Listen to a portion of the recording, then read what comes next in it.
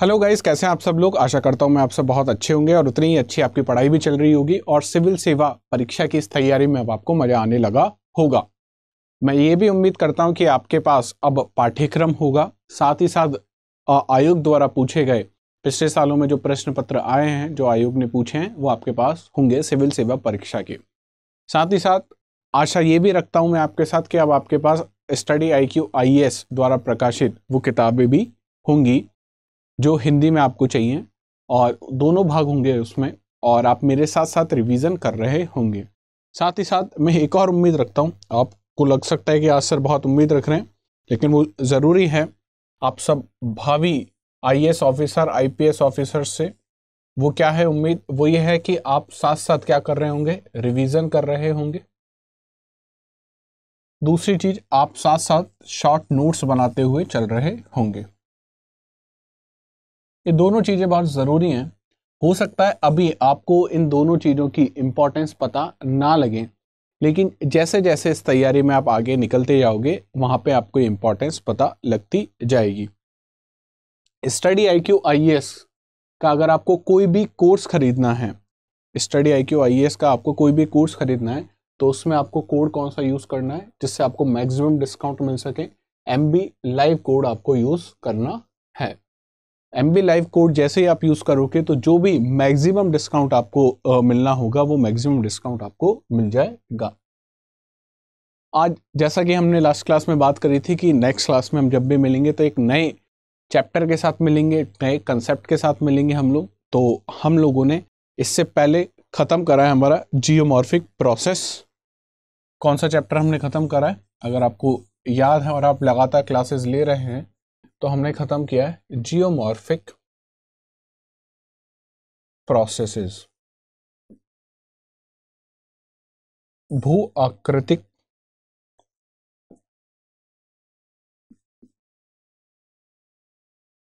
प्रक्रियाएँ।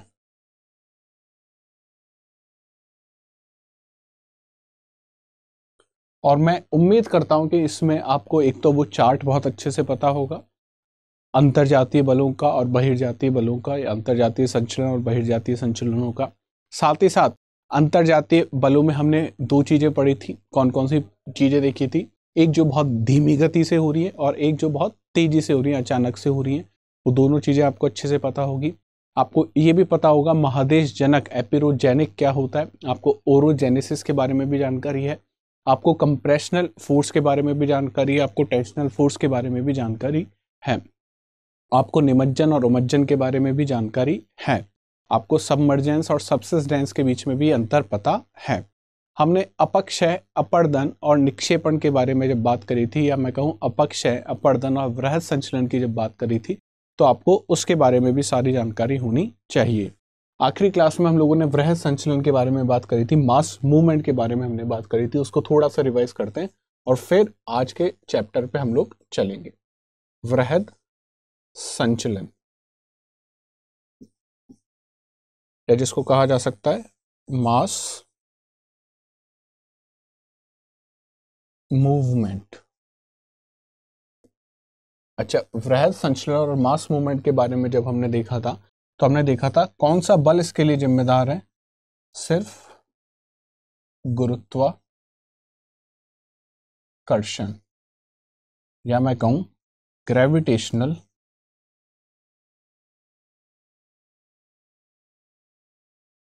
Force gravitational force के कारण अगर कोई भी डेबरी डेबरी हमने देखा था, चट्टान के जो मलबे थे उसको हमने डेबरी कहा था। कोई भी डेबरी अगर गुरुत्वाकर्षण बल के सहारे किसी ढाल से नीचे की ओर गिरना या प्रवाहित होना शुरू हो जाता है तो उसको आप क्या कहोगे? उसको आप वृहद संचलन कहोगे, मास मूवमेंट कहोगे। हमने देखा था वृहद संचलन कितने प्रकार का होता है? वृहद संचलन या बोलूँ, मास मूवमेंट तो हमने देखा था तीन प्रकार से हो सकता है। कौन कौन सा था? एक जो धीमी गति से हो रहा है, उसको हमने बोला था स्लो मूवमेंट एक जो काफ़ी तेज़ी से हो रहा है, उसको हमने बोला था रैपिड मूवमेंट और एक जो बहुत तेज़ी से हो रहा है, उसको हमने कहा था लैंड स्लाइड यहाँ तक कोई दिक्कत आपको नहीं होनी चाहिए। जब हम लोगों ने स्लो मूवमेंट की बात करी थी तो हमने बात करी थी किसकी? सॉइल क्रीप की। किसकी बात करी थी? सॉइल क्रीप के बारे में हमने बात करी थी। जब हमने रैपिड मूवमेंट की बात करी थी तो हमने बात करी थी पंख प्रवाह। इसको बोला था मड फ्लो, इसमें आपको पता है कि अगर पानी से संतृप्त है, क्या है? पानी से संतृप्त। संतृप्त। तो आपको क्या देखने को मिलेगा? तो आपको देखने को मिलेगा पंख प्रवाह। क्या देखने को मिलेगा? पंख प्रवाह आपको देखने को मिलेगा। ये बहुत धीमे धीमे होगा। कैसे होगा? बहुत काफ़ी धीमे धीमे होगा। इसको आपको देखने के लिए भी काफ़ी समय चाहिए। इसको ऑब्ज़र्व करने के लिए भी काफ़ी समय आपको चाहिए। तो हमारी बातें हो गई थी स्लो मूवमेंट को लेके रैपिड मूवमेंट को लेके। लैंडस्लाइड भूस्खलन के बारे में भी हमारी बात हो गई थी, जो इन दोनों के मुकाबले काफ़ी तेज़ी गति से होता है। और अगर ढाल बहुत तीव्र है और नीचे मनुष्य की बस्तियाँ हैं या कोई हाईवे गुजर रहा है तो उसको काफ़ी क्या पहुँचा सकता है, ये नुकसान पहुँचा सकता है। ये हमारी बातें हो चुकी थी मास मूवमेंट को लेके। इसके बाद मैं आशा करता हूँ कि आपने वो टेबल भी बहुत अच्छे से देख ली होगी, कौन सी टेबल, जिसमें अपक्षय अपर्दन और वृह संशन के बीच में डिफरेंस आपको देखने को मिला था। अब चलते हैं हमारे नेक्स्ट टॉपिक के बारे में, जिसका नाम है भू आकृतियाँ तथा उनका विकास। हमने लास्ट क्लास में या जब हमने पिछला वाला चैप्टर भी देखा था तो हमने पाया था कि ये अगर स्थल मंडल है, ये कौन सा मंडल है? ये अगर स्थल मंडल है, ये अगर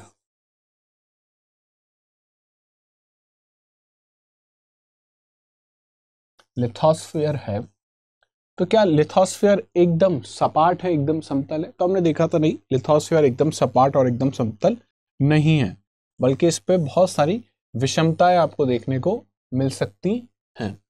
और ये विषमताएँ किसके कारण हो रही थी? ये विषमताएँ मुख्य अंतर जातीय बलों के कारण उत्पन्न हो रही थी। कौन से बलों के कारण? अंतर जातीय बलों के कारण, या मैं कहूँ एंडो जेनेटिक और इन विषमताओं को कम कौन कर रहा था? तो हमने ये भी देखा था कि इन विषमताओं को कम करने का कार्य कौन कर रहा है? बाहर बहिर्जातीय बल, या मैं कहूँ एक्सो जेनेटिक जो बल हैं, वो क्या कर रहे थे? इन विषमताओं को कम करने की कोशिश कर रहे थे। जब ये विषमताओं को कम कर रहे थे तो हमने देखा था बहिर बहिर्जातीय बलों में हमने बात करी थी तीन चीज़ों के बारे में। हमने बात करी थी अपक्षय जिसको हमने बोला था वेदरिंग, हमने बात करी थी अपर्दन जिसको हमने बोला था इरोजन हमने बात करी थी वृहद संचलन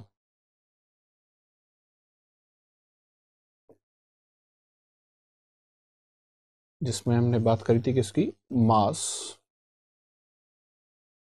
मूवमेंट की ये चीज़ें हमने बात करी थी कि बहिर्जातीय बल जो विषमताओं को कम करते हैं, उसमें इस प्रकार के कुछ होते और इन दोनों को मिलके हमने एक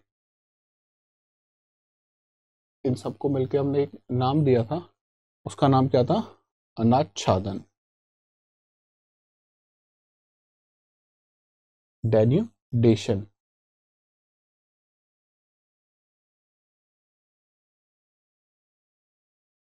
जब हमने ये बा, सारी बात करी थी तो हमने देखा था जो अपर्दन होता है।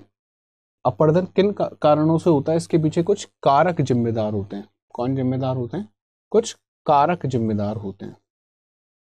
कुछ एजेंट्स इसके पीछे रिस्पॉन्सिबल होते हैं जिनको हमने एजेंट्स ऑफ़ इरोजन कहा था अपर्दन के कारक कहा था।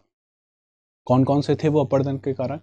तो हमने देखा था भाई बहता हुआ जल नदी हो सकता है भूमिगत जल ग्राउंड वाटर हो सकता है हिम नद हो सकता है, या और हमने देखा था पवने हो सकती हैं। तो वो सब क्या थे? अपर्दन के कारक थे।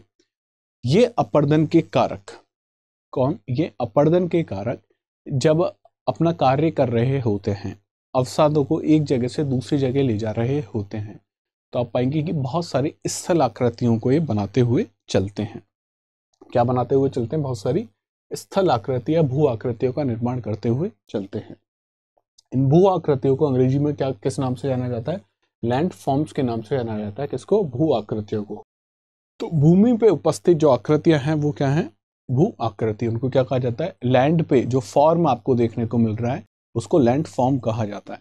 ना केवल हमको ये पढ़ना है कि भू आकृतियाँ क्या होती हैं, बल्कि साथ ही साथ क्या देखना है? उनका विकास भी देखना है, उनका इवोल्यूशन भी देखना है। अब सर, यहाँ पे इवोल्यूशन का मतलब क्या है? एवोल्यूशन का मतलब आप ऐसे समझिए कि जैसे मनुष्य जो होता है, हम कहते हैं कि जो बंदर थे, वो हमारे क्या थे? पूर्वज थे। और उन बंदरों से धीमे धीमे धीमे आज हम मनुष्य बन गए होमोसेपियंस बन चुके हैं। तो ये हमारा क्या हुआ? विकास हुआ है।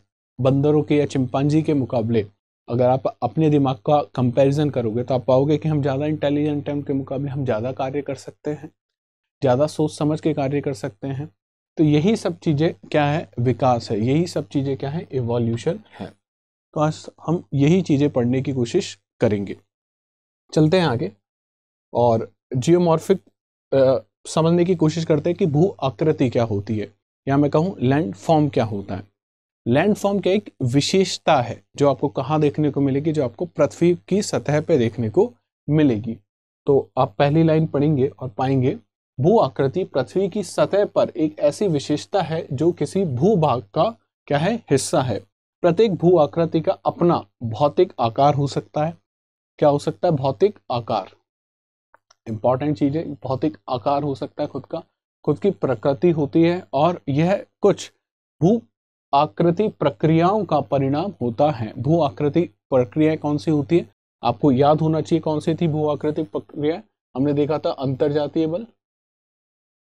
अंतर, जातीय बल, तथा हमने देखा था, बहिर, जातीय बल। ये दोनों क्या थी? ये दोनों भू आकृतिक प्रक्रियाएँ थी। तो इन दोनों के कारण हमने देखा था विषमताएँ उत्पन्न कौन कर रहा है? अंतरजातीय बल। विषमताएँ कम कौन कर रहा है? बहिर्जातीय बल। लेकिन आप एक इवेंट पे देखोगे, एक टाइम पीरियड पे देखोगे कि भाई आज कौन सी स्थिति है? तो आज की स्थिति अगर आप देखोगे तो कुछ अंतरजातीय बल इस पे लग रहे होंगे। कुछ बहिर्जातीय बल इस पे लग रहे होंगे। तो ये जो आपको सामने देखने को मिल रहा है, ये क्या है? ये भू आकृति है। इस पर दोनों प्रकार के बल कार्य कर रहे हैं। तो इन दोनों का जो परिणाम है, वो क्या है? एक भू आकृति है। इसके बाद हमने बात करी थी कि अधिकांश जो भू आकृति होती है, वो कैसी होती है? काफ़ी धीमी होती हैं। सिवाय किसके, जो भूकंप से निर्मित हैं, या मैं कहूँ जो ज्वालामुखी से निर्मित है, वो काफ़ी तेज़ी से होंगी। बाकी जो जितनी भी भू आकृतियाँ होती हैं, उनका जो प्रक्रिया होती है, वो कैसी होती है? धीमी होती है और जिनको दिखने में कितना कैसा समय लगता है, काफ़ी लंबा समय लगता है।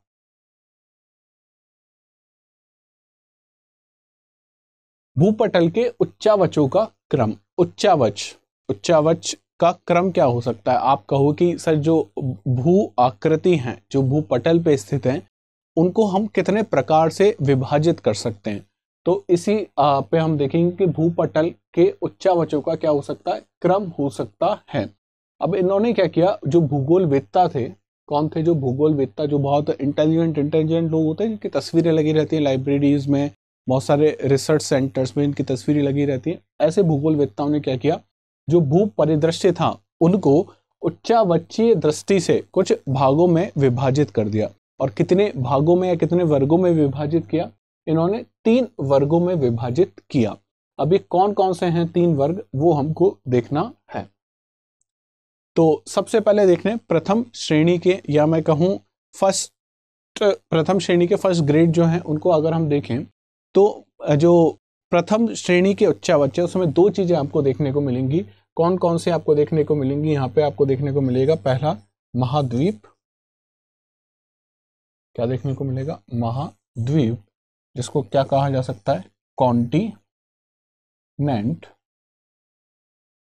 या मैं कहूँ, आपको देखने को मिलेगा, महा सागर, जिसको कहा जाता है ओशियन तो ये जो महाद्वीप है और महासागर हैं, इनको क्या कहा जाता है? इनको कहा जाता है प्रथम श्रेणी के उच्चावच। प्रथम श्रेणी के उच्चावचों के अंतर्गत महाद्वीपीय क्षेत्र और महासागरीय नितल को सम्मिलित किया जाता है। महाद्वीपीय क्षेत्र सागर तल से ऊपर अवस्थित क्षेत्र है, जबकि सागरीय नितल सागर का तलीय क्षेत्र है। तो यहाँ पे आपको ये दोनों चीज़ें देखने को मिलेंगी कौन कौन सा? महाद्वीपीय और महासागर। और महासागर का जो तल है, आप देखोगे कि जो महाद्वीपीय क्षेत्र है, वो सागर का जो तल है, जिसको हम कहते हैं कि जो आ, समुद्र है समुद्र का जो पानी है उससे ऊपर देखने को मिलेगा। और जो सागर का नितल है जिसकी हमने बात करी थी सागर नितल प्रसरण सिद्धांत में भी तो जो सागर का नितल है वो आप देखोगे जो सी का जो लेवल है सी लेवल से आपको नीचे देखने को मिलेगा। तो इस प्रकार ये दोनों चीज़ें महाद्वीप और महासागरी तटीय क्षेत्र किस श्रेणी के उच्चावच हैं ये आपको प्रथम श्रेणी के उच्चावच देखने को मिलेंगे। इन्हीं को क्या कहा जाता है? प्रथम श्रेणी के उच्चावच। आगे बात करते हैं द्वितीय श्रेणी के उच्चावच। जो आपको जनरली दिखते हैं। क्या आपको दिखते हैं? आप कहीं पे भी जाओगे तो आपको क्या देखने को मिलेगा? आपको देखने को मिल सकते हैं पर्वत। आपको देखने को मिल सकते हैं पहाड़। आपको देखने को मिल सकता है पठार। आपको देखने को मिल सकते हैं मैदान। ये सब क्या है? तो ये सब क्या है? ये है द्वितीय श्रेणी के उच्चावच। द्वितीय श्रेणी के उच्चावचों के अंतर्गत क्या आएगा? पर्वत, पठार, मैदान तथा झीलों एवं महासागरीय नितल में स्थित महाद्वीपीय मग्न तट महाद्वीपीय ढाल, गहन सागरीय मैदान, मध्य महासागरीय कटक अंत सागरीय घाटियाँ और गर्तों को सम्मिलित किया गया है। ये जो अपन ने बात करी यहाँ पे, जो अपन ने लिखा ये कहाँ पे लिखा है हमने? जो महाद्वीप पे स्थित है। इसी तरीके से हमने ऐसे देखा था कि कुछ महासागर का जो नितल है, वहाँ पे भी आपको बड़े बड़े मैदान देखने को मिलते हैं। उन मैदानों को क्या कहा जाएगा? गहन सागरीय मैदान कहा जाएगा। वहाँ पे भी आपको बहुत सारे सारे क्या देखने को मिलते हैं? पहाड़ देखने को मिलते हैं। उनको क्या कहोगे आप? महाद्वीपीय ढाल कहोगे, मध्य महासागरीय कटक कहोगे, तथा अंत सागरीय घाटियाँ कहोगे। तो ये सब क्या है? ये सब आपको कहाँ देखने को मिलेंगे? महासागर के नितल में, महासागर के तल में। मैं कहूँ इनसाइड द ओशन आपको देखने को मिलेंगे। पहले हमने बात करी थी कि प्रथम श्रेणी के उच्चावच क्या हो सकते हैं? या तो वो महाद्वीप आपको देखने को मिलेगा, या आपको महासागर देखने को मिलेगा। यह है महाद्वीप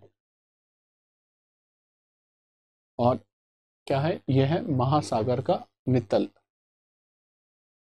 हम इसको लिख देता हूँ, महासागर।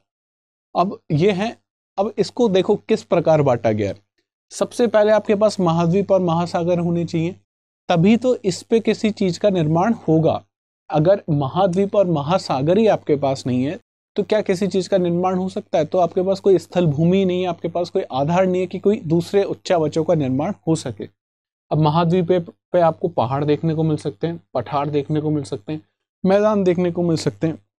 यहाँ पे भी हमने देखा था कटक आपको देखने को मिल सकती हैं आपको भ्रंश घाटियाँ देखने को मिल सकते हैं आपको ढाल देखने को मिल सकते हैं आपको द्वीप समूह देखने को मिल सकते हैं आपको घाटियाँ देखने को मिल सकती हैं वो सब कहाँ बनी महासागर पे बनी। तो पहले आधार चाहिए तो जो आधार है, वो क्या है? प्रथम श्रेणी के उच्चावच हैं। तो प्रथम श्रेणी के उच्चावच हो गए आपके महासागरीय, नित्तल और महाद्वीप। इसके बाद इन महाद्वीपों पर इन महासागरों में जो भी उच्चावच आपको देखने को मिलेंगे, वो कौन से होते हैं?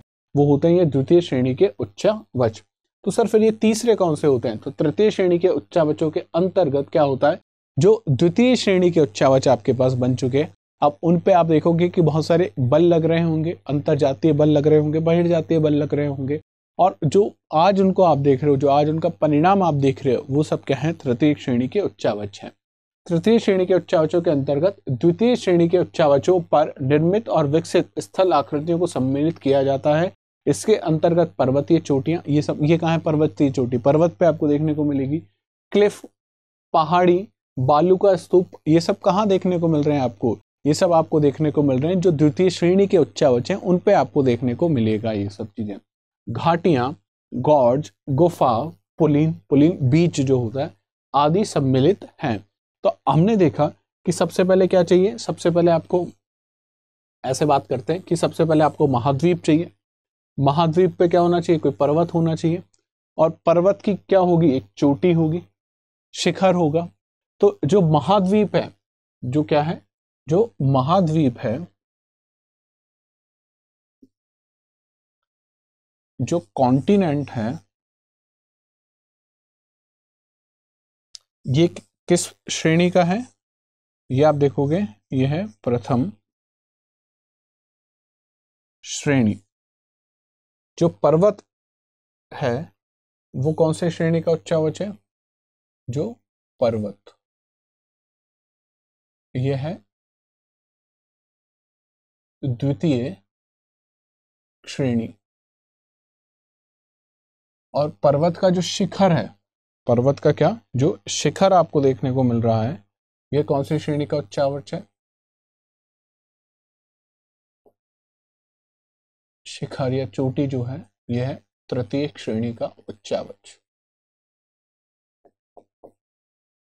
तो आप हमेशा ये पाओगे कि तृतीय श्रेणी का उच्चावच बनने के लिए, पहले प्रथम और द्वितीय श्रेणी के उच्चावच चाहिए आपको।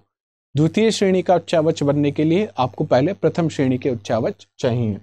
तो इनका निर्माण किस प्रकार होगा? इनका निर्माण कुछ इस प्रकार आपको देखने को मिलेगा कि सबसे पहले निर्माण किसका होगा? सबसे पहले निर्माण होगा प्रथम श्रेणी के उच्चावचों का। किसका होगा?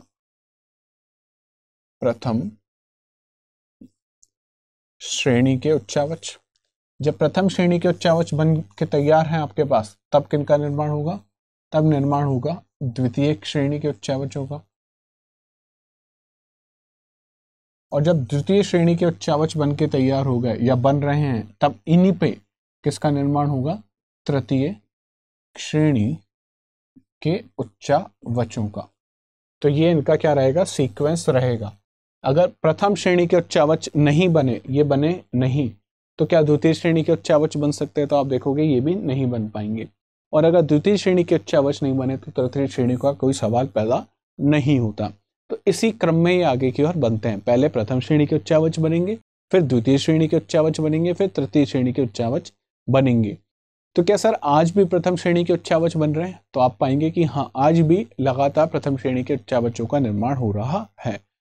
इसका मतलब आज भी महाद्वीप और महासागरों का निर्माण हो रहा है तो आप पाएँगे हाँ आज भी महाद्वीप और महासागरों का निर्माण हो रहा है। आपने कितने महाद्वीप और कितने महासागर पढ़े? आप देखोगे, अगर न्यूज़ अगर आप पिछले सालों से अगर पढ़ रहे हो तो लगातार एक नए महाद्वीप की चर्चा होती रहती है, जो ऑस्ट्रेलिया और न्यूजीलैंड के पास आपको निकट देखने को मिलेगा। अगर आप न्यूज़ पढ़ते हो तो प्लीज़ कमेंट सेक्शन में मुझे बताइए कि कौन से नए महाद्वीप की हम लोग बात करते हैं। तो हमने देखा प्रथम श्रेणी के उच्चावचों का निर्माण हो रहा है। द्वितीय श्रेणी के उच्चावचों का निर्माण हो रहा है क्या लगातार? तो हम पाएँगे कि हाँ लगातार क्या कर रही है? प्लेट मूव करती रहती हैं। जब प्लेटों का संचलन होता है, प्लेटें मूव करती रहती हैं तो वहाँ पे आप देखोगे कि पर्वतों का निर्माण हो रहा है। किसी ज्वालामुखी के ऊपर से गुजरी तो पठारों का निर्माण होगा। नदियाँ लगातार मैदानों का निर्माण कर रही हैं। इसी प्रकार कटकों का निर्माण होता रहता है, गॉर्जेस का, क्लिफ का निर्माण होता रहता है। वो सब कौन से उच्चावच है वो है द्वितीय श्रेणी के उच्चावच तृतीय श्रेणी के उच्चावच, अगर द्वितीय श्रेणी के उच्चावच नहीं, मान लीजिए अगर पर्वत ही नहीं है तो पर्वत का शिखर बन सकता है क्या? तो हम पाएँगे कि पर्वत का शिखर नहीं बन पाएगा, उसके लिए पहले पर्वत का होना ज़रूरी है।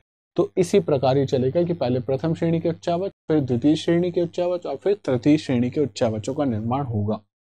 आगे की ओर चलते हैं। अब बात करते हैं। ये बात करिए हमने स्थल आकृतियों के बारे में। अब हमको बात करनी है किसकी? स्थल आकृतियों के विकास के बारे में। विकास मतलब उनका इवोल्यूशन किसके बारे में हमको बात करनी है? उनके इवोल्यूशन के बारे में। अच्छा इवोल्यूशन किसी भी चीज़ का, अगर मैं बात करूँ पहले मनुष्य की तो मनुष्यों का भी क्या हुआ है? इवोल्यूशन हुआ है। आप जो पुराने मनुष्य देखोगे तो आप पाओगे कि क्या उन, वो सीधे खड़े नहीं हो सकते थे। वो हल्के से हमेशा झुके रहते थे। उनके आप देखोगे जो थम होता है वो नहीं होता था। वो इस तरीके से अपनी गर्दन को घुमाने में असमर्थ थे। उनका आकार विशालकाय होता था। वो ज़्यादा ताकतवर होते थे। अब जो मनुष्य आप देखोगे, उसका दिमाग जो है, वो क्या हो चुका है? विकसित हो चुका है। तो ये क्या हो रहा है? इवोल्यूशन हो रहा है। इसी प्रकार जो स्थल आकृतियाँ होती हैं, वो भी लगातार क्या करती हैं? इवॉल्व करती हैं। उनका भी क्या होता है? विकास होता है। अब ये विकास किस चीज़ पर निर्भर करेगा? कि वो स्थल आकृति कहाँ पर है? वो स्थल आकृति किस चीज़ से निर्मित हुई है? वो जहाँ पे वो स्थल आकृति है, वहाँ पे किस प्रकार का मौसम है, किस प्रकार की जलवायु है, इन सब चीज़ों पे उसका विकास निर्भर करेगा। बात करते हैं स्थल आकृतियों के विकास से, तात्पर्य क्या है कि इनके समय के साथ परिवर्तन से है। समय के साथ इनमें क्या परिवर्तन हो रहा है? इसका मतलब इसका मतलब ये कि प्रत्येक भू आकृति के विकास का एक अपना इतिहास होता है, एक स्थल आकृति विकास की अनेक अवस्थाओं से गुजरती है, जैसे युवावस्था, प्रौढ़ावस्था और वृद्धावस्था। मनुष्य जो होता है, मनुष्य भी इन्हीं अवस्थाओं से गुजरता है। मनुष्य पैदा होता है शिशु, मनुष्य थोड़ा बड़ा हो गया तो युवा अवस्था अब युवावस्था के बाद आप देखोगे प्रौढ़ावस्था, और प्रौढ़ावस्था के बाद आप देखोगे वो बुज़ुर्ग हो गया, वो वृद्धावस्था में पहुँच गया है। इसी प्रकार से जो स्थल आकृति है, उनका भी विकास होता है।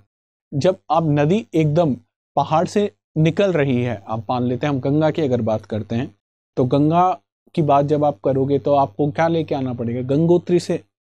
अभी हम ये मान लेते हैं, गंगोत्री, हालाँकि अब जब हम लोग इंडियन जोग्राफी में हम देखेंगे गंगा के बारे में तो आप पाओगे कि गंगोत्री से गंगा नहीं निकलती है। तो अभी हम मान लेते हैं कि गंगोत्री से क्या निकल रही है? गंगा निकल रही है। जब गंगोत्री से गंगा निकल रही है तो कौन सी अवस्था है उसकी? वो उसकी युवा अवस्था जब उसमें बहुत सारी ताकत है, बहुत सारी एनर्जी है। बहुत सारी एनर्जी क्यों है? क्योंकि आप देख रहे हो कि गुरुत्वाकर्षण बल के कारण वो नीचे की ओर आ रही है। और गुरुत्वाकर्षण जब उसको खींचेगा अपनी तरफ़, उनको आकर्षित करेगा, तब नदी का जो वेग होगा, जो उसकी तीव्रता होगी, वो काफ़ी तेज़ी से होगी। तो वहाँ पे जो अपर दन का जो कार्य जो इरोजन का कार्य नदी बहुत आसानी से कर लेती है। तो वो कौन सी उसकी अवस्था हुई? वो उसकी युवा अवस्था हुई। फिर आती है नदी। जैसे अब गंगा की बात करें तो हरिद्वार के बाद हरिद्वार के बाद गंगा कहाँ पे प्रवेश कर जाती है? हम ये मानते हैं कि हरिद्वार के बाद गंगा ने प्रवेश कर लिया कौन से क्षेत्र में? मैदानी क्षेत्र में आ जाती है।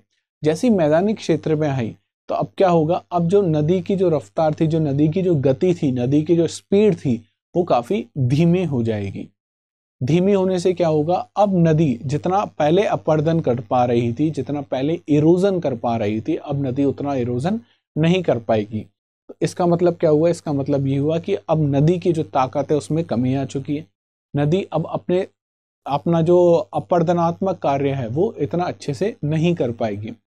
आखिरी में जब गंगा, आप देखोगे कि बंगाल के आसपास पहुँचती है या मैं कहूँ सुंदरवन के आसपास पहुँचती है तो वहाँ पे डेल्टा का निर्माण करती है।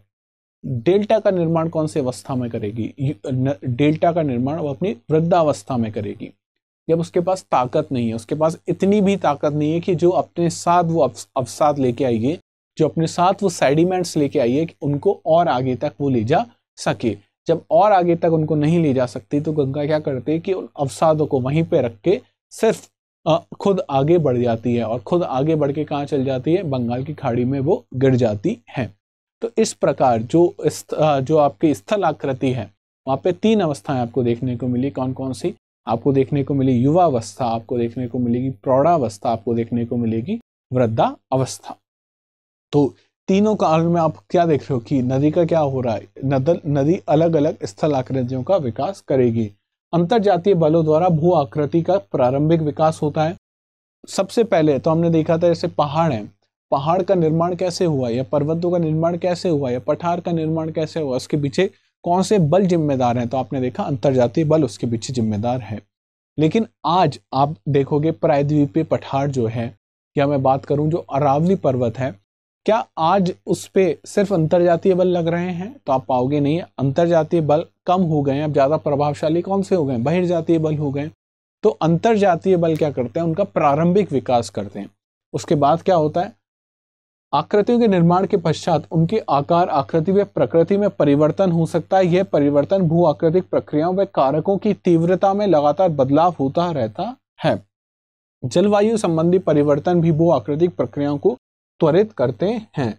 तो जो जलवायु है, जो क्लाइमेट है, क्लाइमेट भी क्या करता है? उसको, उस पर भी काफ़ी सारी चीज़ें डिपेंड करेंगी कि जो भू आकृति जो स्थल आकृति है, उसमें कौन कौन से परिवर्तन आएँगे। इस प्रकार क्या होता है? स्थल आकृतियों का विकास होता है। अच्छा अब स्थल आकृतियों का अगर हम वर्गीकरण करें कि स्थल आकृति किस प्रकार बनती हैं, इसलिए नाम क्या लिखा हुआ है? जेनेटिक वर्गीकरण, या मैं कहूँ जेनेटिक क्लासिफिकेशन। लैंडफॉर्म का अगर जेनेटिक क्लासिफिकेशन करना है, जेनेटिक मतलब वो किससे निर्मित हो रहा है। तो जब हम जेनेटिक क्लासिफिकेशन की बात करेंगे तो आप पाएँगे कि बहुत सारे भागों में उसको विभाजित किया जा सकता है।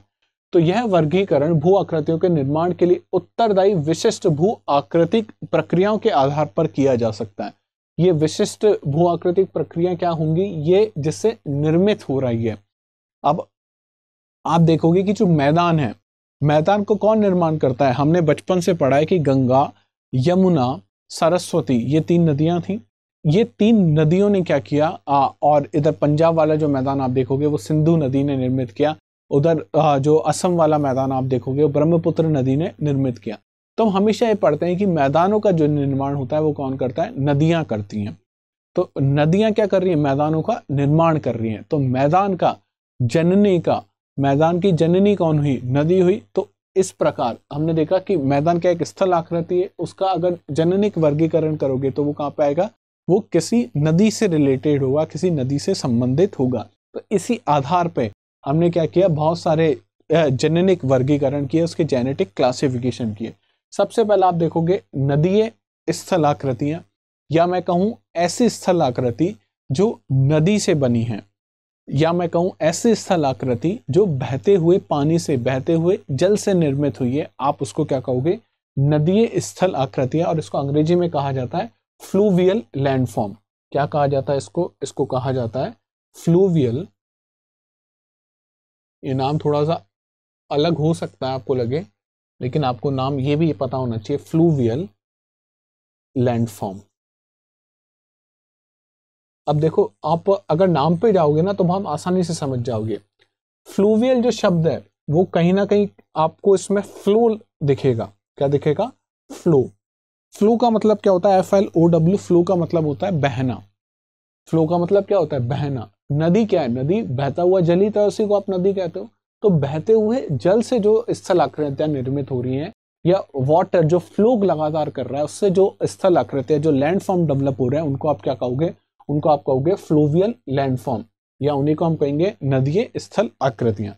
इसके बाद हम पढ़ेंगे जलोढ़ स्थल आकृतियाँ एलुवियल लैंडफॉर्म्स आप इसमें देखोगे कि गंगा का मैदान जो है, वो हम ये मानते हैं कि काफ़ी ज़्यादा उपजा हुआ जलोढ़ मिट्टी वहाँ पे मिलती है एलुवियल सॉइल उसमें मिलती है।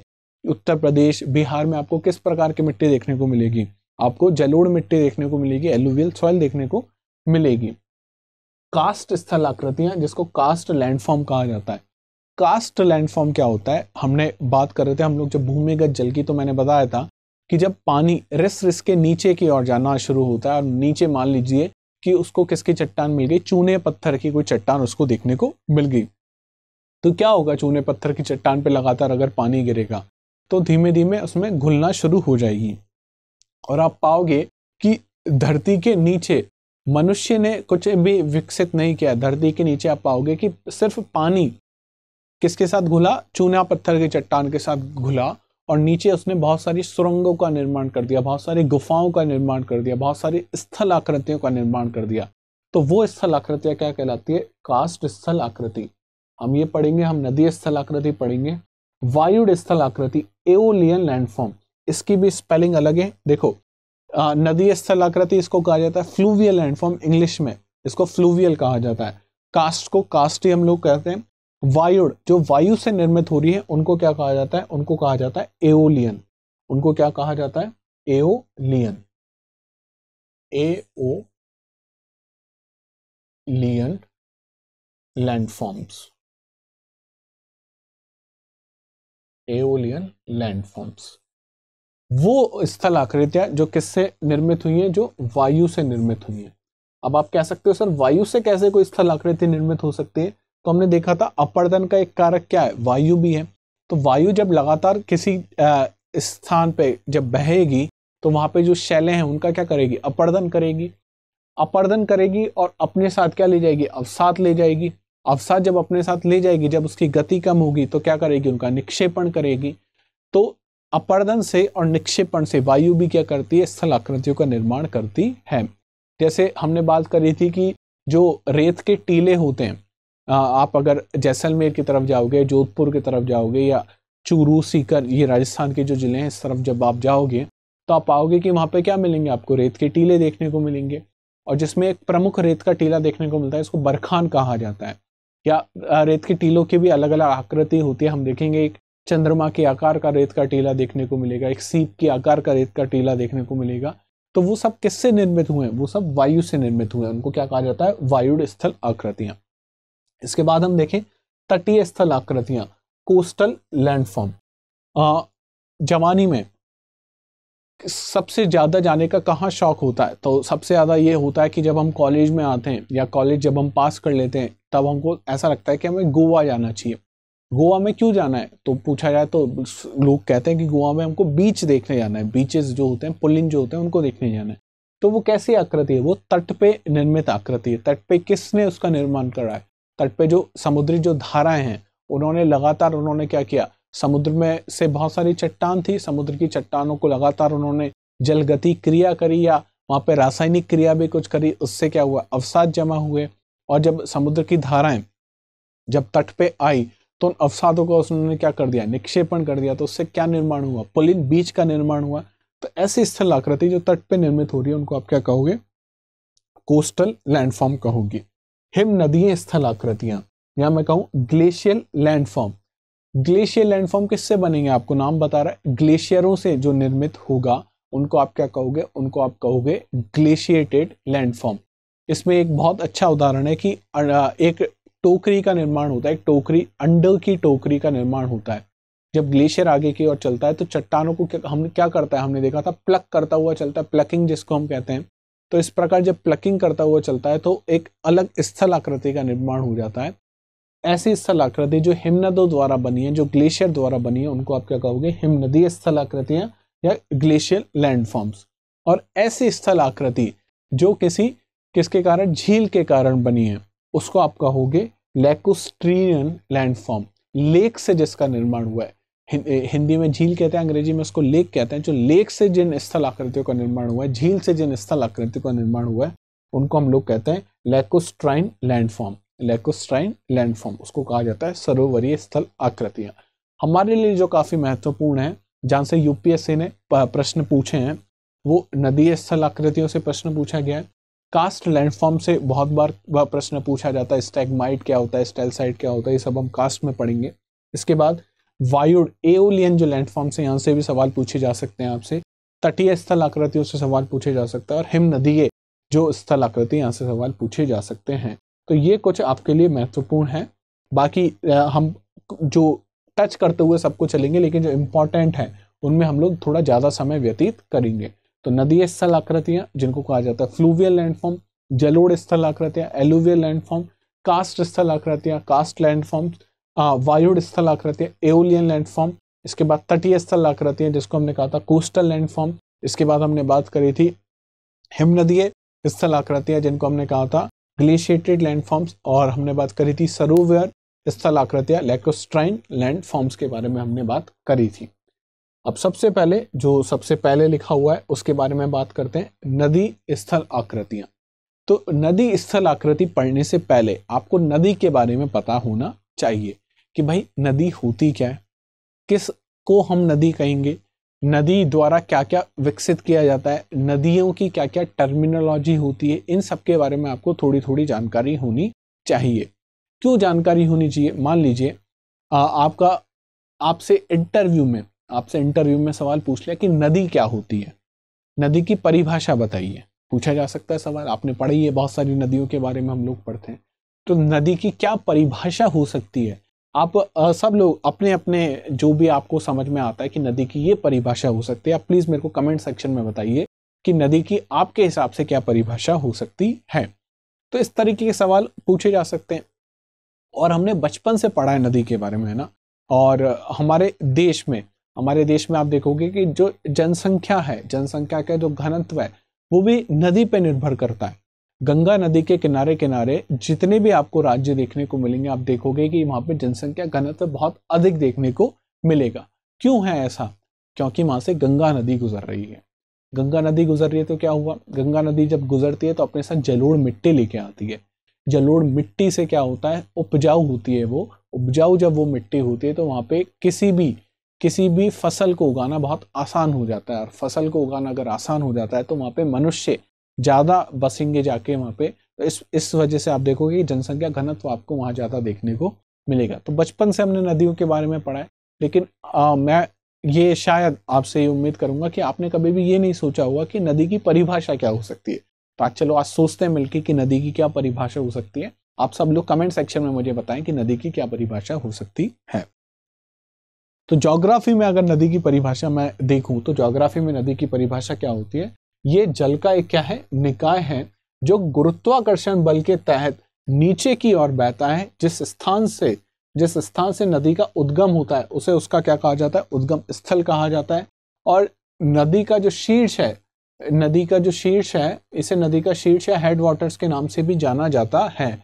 और वह बिंदु जहाँ यह किसी अन्य बड़े जल निकाय, जैसे बड़ी नदी, झील या समुद्र या महासागर में प्रवेश करता है नदी का क्या कहलाता है? मुहाना कहलाता है। तो इसको अगर देखना हो तो हम ऐसे देख सकते हैं कि मान लीजिए, ये हिमालय की कोई श्रृंखला है। अभी हमको नहीं पता कौन सी श्रृंखला है। जब हम लोग गंगा के बारे में पढ़ेंगे तब मैं आपको बहुत अच्छे से बताऊँगा कौन सी श्रृंखला है। अभी हम समझ लेते हैं यहाँ पे एक गंगोत्री नामक स्थान है, हिमनद है वहाँ पर और वहाँ से क्या निकल रही है? गंगा नदी निकल रही है। ये क्या हुआ? गंगा नदी यहाँ से निकली। तो गंगा नदी जिस क्षेत्र से निकली, इसको नदी का क्या कहा जाएगा? इसको नदी का कहा जाएगा उद्गम क्षेत्र। क्या कहा जाएगा? नदी का उद्गम क्षेत्र। और यहाँ पे जो शुरुआती पानी जो बहेगा यहाँ पे, इसको कहा जाता है हेड वाटर क्या कहा जाता है? हेड वाटर इसे नदी का शीर्ष या हेड वाटर्स के नाम से जाना जाता है। क्यों कहेंगे इसको हेड वाटर्स हम लोग क्या मान रहे हैं? हम लोग ये मान रहे हैं कि नदी यहाँ से शुरू हुई। आप कहाँ से शुरू हो रहे हैं? आप मैं जैसे मेरी बात करूँ तो मैं यहाँ से शुरू हो रहा हूँ और शुरू होते होते हुए मेरे पैर पे जाके मैं ख़त्म हो जा रहा हूँ। तो यहाँ से शुरू हो रहा हूँ तो मेरा सबसे पहला हिस्सा हेड आपको देखने को मिलेगा। तो इसीलिए यहाँ पे क्या इसको किस नाम से जाना जाता है? हेड वाटर्स के नाम से जाना जाता है। इस शुरुआती जल को आप किस नाम से जानोगे? हेड वाटर्स के नाम से जानोगे। और आपको शायद ये पता हो कि जो गंगा है, वो कहाँ पे जाके समाप्त होती है? तो आपको पता होना चाहिए, बंगाल की खाड़ी में जाके गिर जाती है। तो जब ये बंगाल की खाड़ी में जाके गिरी तो ये मान लीजिए यहाँ पे जाके ऐसे प्रकार गिर गई। और यहाँ पे क्या है? बंगाल की खाड़ी है, बहुत सारा पानी है वहाँ पे। तो बंगाल की खाड़ी में जब गिर गई तो इस वाले क्षेत्र को आप इसका क्या कहोगे? मुहाना कहोगे। क्या कहोगे? मुहाना। तो उद्गम क्षेत्र क्या होता है जहाँ से नदी शुरुआत हो रही है? हेड वाटर्स क्या होता है? जो शुरुआती जो पानी बह रहा है या उद्गम क्षेत्र के आसपास जो पानी बह रहा है नदी का, उसको आप क्या कहोगे? हेड वाटर्स कहोगे। और वो क्षेत्र जहाँ पे नदी किसी बड़ी नदी से मिल जाए, बड़ी नदी से कैसे मिल सकती है? आप ऐसे समझें, यमुना नदी यमुना नदी प्रयागराज में कौन सी नदी से मिल रही है? तो आप देखोगे जो यमुना नदी थी, वो प्रयागराज में गंगा से मिल रही है। ये मान लेते हैं, यमुना है और ये मान लेते हैं गंगा है। तो यमुना नदी प्रयागराज में किससे मिल रही है? गंगा से मिल रही है और यमुना के मुकाबले गंगा बड़ी नदी है तो यमुना का मुहाना ये हो जाएगा। और अगर यमुनोत्री पे अपन लोग चलें किस कहाँ चलें? यमुनोत्री। दो धामों की यात्रा मैंने आपको करवा दी है गंगोत्री की और यमुनोत्री की। तो यमुनोत्री पर जब आप चलोगे तो ये वाला जो क्षेत्र है, ये उद्गम क्षेत्र है किसके लिए? यमुना के लिए। और यहाँ पे जो पानी होगा, उसको आप किस नाम से जानोगे? हेड वाटर्स हेड वाटर्स के नाम से आप उसको जानोगे। तो यहाँ तक कोई डाउट नहीं होना चाहिए आपको। आगे की ओर चलते हैं। बहुत नदी में क्या होता है? नदी में बहुत सारी और नदियाँ भी आके मिलती हैं। जैसे गंगा में हम बात करें तो गंगा में आप देखोगे यमुना आके मिल रही है। अच्छा यमुना में भी कोई नदी आके मिलती होगी? जैसे यमुना में आप देखोगे कि उत्तर प्रदेश में इटावा के आसपास जो चंबल नदी है, वो आके मिलती है। तो ये क्या है इनकी? सहायक नदी है। तो जो सहायक नदी होती हैं, इसको क्या कहा जाता है? इसको कहा जाता है ट्रिब्यूटरी। क्या कहा जाता है? सहायक नदी को क्या कहा जाता है? ट्रिब्यूटरी कैसी होती है ट्रिब्यूटरी ऐसे समझिए। मान लेते हैं। ये कौन सी नदी थी? ये है चंबल नदी। यहाँ से बहते हुए आ रही थी।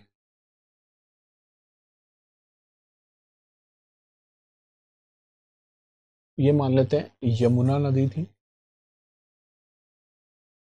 और यहाँ पे कौन सी नदी बह रही थी? गंगा नदी बह रही थी। तो चंबल नदी आप देख रहे हो किसमें मिल रही है? यमुना में मिल रही है और यमुना किसमें जाके मिल रही है? गंगा में जाके मिल रही है। तो गंगा की सहायक नदी कौन सी है? यमुना। यमुना की सहायक नदी कौन सी है? चंबल है। लेकिन यहाँ पे आपको एक नदी तंत्र देखने को मिल रहा है। क्या देखने को मिल रहा है? तंत्र देखने को मिल रहा है। इसको क्या कहा जाता है? इसको नदी तंत्र कहा जाता है। मुख्य नदी और उसकी सहायक नदियों द्वारा गठित एकीकृत प्रणाली को क्या कहा जाता है? नदी तंत्र कहते हैं। तो हम लोग जब पढ़ेंगे गंगा के बारे में, तब हम ये सब चीज़ें देखेंगे, लेकिन मैं आशा करता हूँ कि आप समझ चुके होंगे ट्रिब्यूटरी क्या होती है और नदी तंत्र क्या होता है। और जहाँ पे दो नदियों का मिलन होता है, उसको आप संगम कहते हो, जैसे प्रयागराज में। प्रयागराज में हम लोग ये मानते हैं, हिंदू माइथोलॉजी में माना जाता है कि तीन नदियाँ मिलती हैं, प्रमुख नदियाँ, गंगा, यमुना और सरस्वती। अब सरस्वती तो विलुप्त हो चुकी है, लेकिन हम हम पढ़ेंगे उसके बारे में भी कि सरस्वती के साथ क्या हुआ। गंगा और यमुना मिलती है तो वो क्या है? संगम क्षेत्र है, प्रयागराज है वहाँ पे। उदाहरण के लिए यमुना नदी की सहायक यमुना नदी गंगा की सहायक नदी है, प्रयागराज के त्रिवेणी संगम में यमुना नदी गंगा से मिलती है। इसके बाद हम बात करें कि वह शाखा, नदी में कई बार क्या होता है? मान लीजिए, ये गंगा नदी है।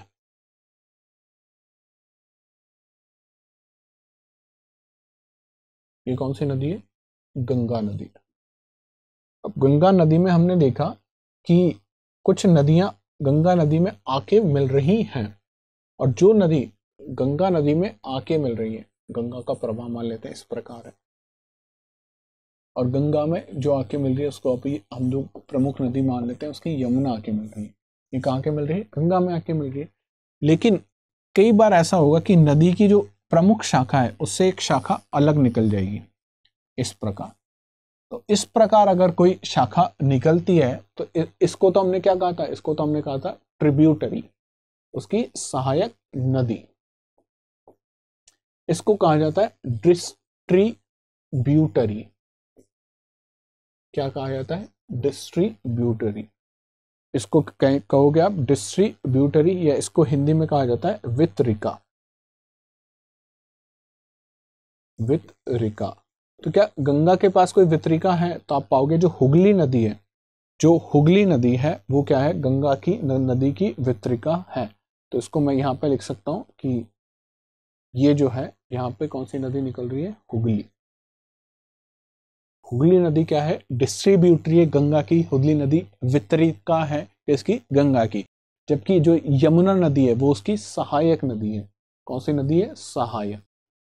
या उसको क्या कहा जाता है, उसको कहा जा सकता है ट्रिब्यूटरी है। तो तक कोई डाउट आपको नहीं होना चाहिए। उसके बाद हम बात करें कि अपवाह द्रोणी या ड्रेनेज बेसिन अब देखो, यहाँ पे नाम से पता लग रहा है, किसकी बात हो रही है? बेसिन की बात हो रही है। आपने एक और बेसिन का नाम सुना है। आप सबके घरों में होगा। कौन सा बेसिन वॉश बेसिन क्या होगा? वॉश बेसिन होगा। और वॉश बेसिन की अगर आकृति आप देखोगे तो कुछ इस प्रकार आपको देखने को मिलेगी।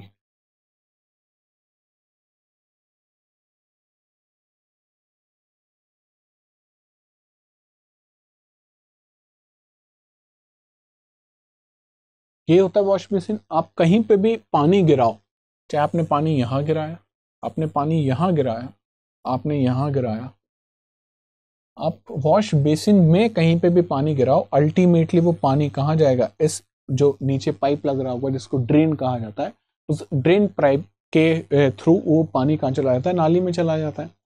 तो इस क्षेत्र में अगर कहीं पे भी पानी गिर रहा है तो वो पानी कहाँ चला जाएगा? ड्रेन ड्रेन में चला जाएगा। इसी प्रकार क्या होता है? ये ड्रेनेज बेसिन होता है।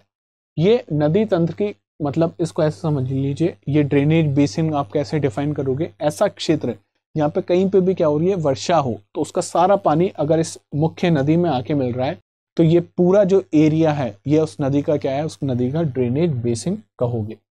नदी तंत्र की स्थानिक इकाई है, इसमें नदियाँ और भूमि की सतह दोनों शामिल हैं।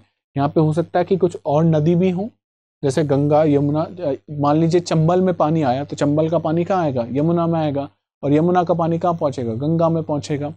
तो इस प्रकार ये नदी का, ये इस गंगा नदी का क्या हुआ? अपवाह द्रोणी हुआ, इसका ड्रेनिंग बेसिन हुआ। इसे किस दूसरे नाम से जाना जा सकता है? जल ग्रहण क्षेत्र या इसका कैचमेंट एरिया के नाम से भी इसको जाना जा सकता है।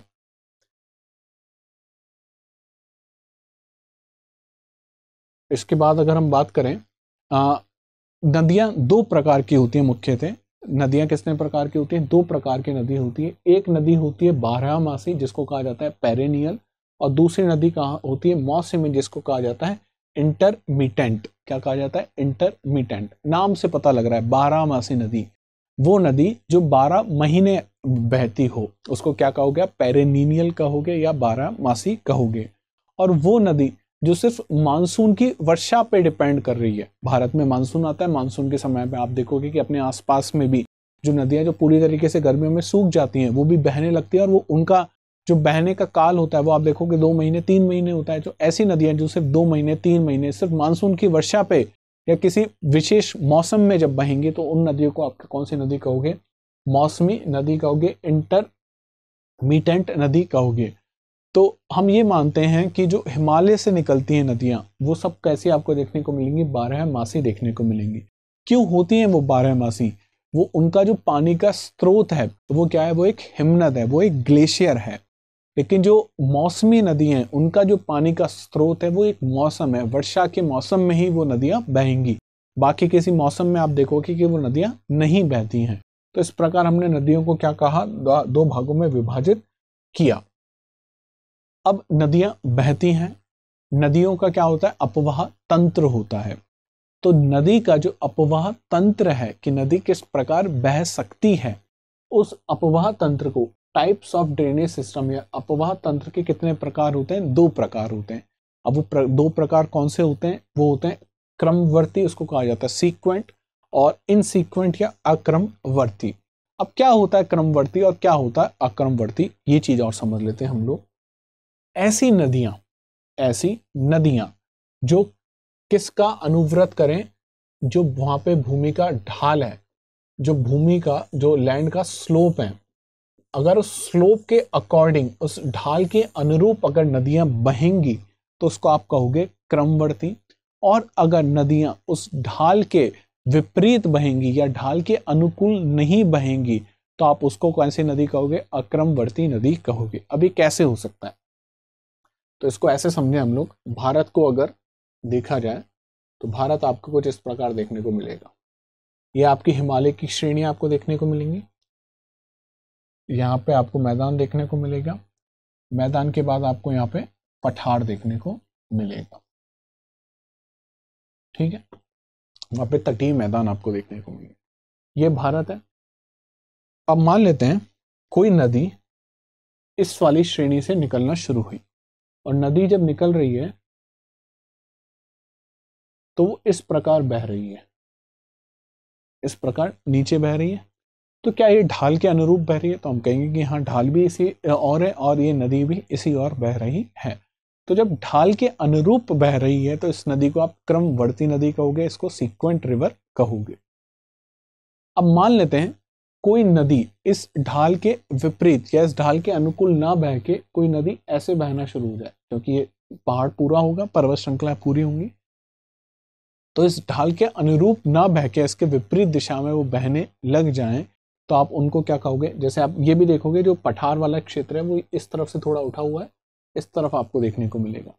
अब इस पठार पे कोई नदी अगर बह रही है और वो नदी अगर इस प्रकार स्लोप के अकॉर्डिंग ढाल के अनुरूप बहे तो क्रमवर्ती नदी हो गई। अब ये पठार जो है, ये थ्री फिगर में आप देखो तो ये पठार आपको इस प्रकार दिखाई देगा। अगर इस तरफ़ बह रही है तो तो ठीक है, अब इसके विपरीत या इसके ढाल के अनुरूप ना बह के नदी इस प्रकार बहना शुरू कर दे। इसको आप क्या कहोगे? इसको आप कहोगे आक्रमवर्ती।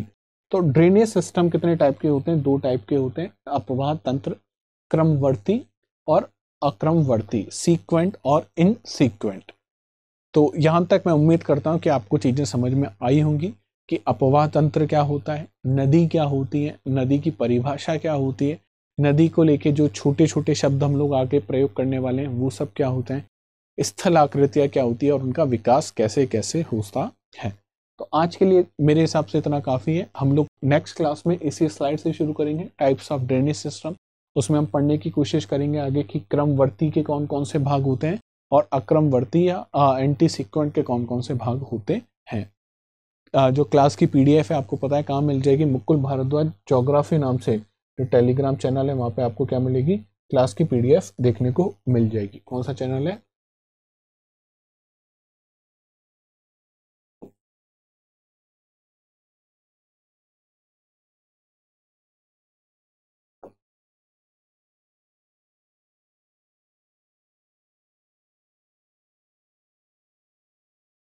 ये चैनल है मुकुल भारद्वाज जोग्राफी के नाम से। यहाँ पे आपको टेलीग्राम पे पीडीएफ मिल जाएगी।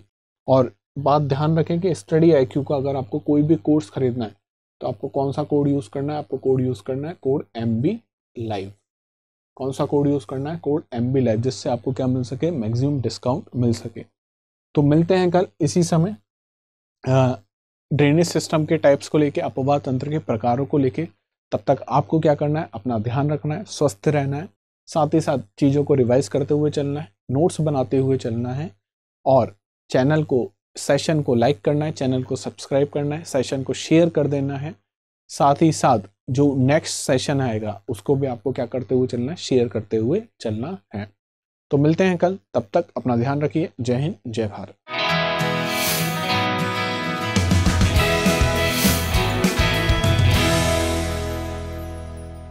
हिंदी में यूपीएससी की तैयारी से संबंधित प्रोग्राम्स को देखने के लिए सब्सक्राइब करें study I Q I S Hindi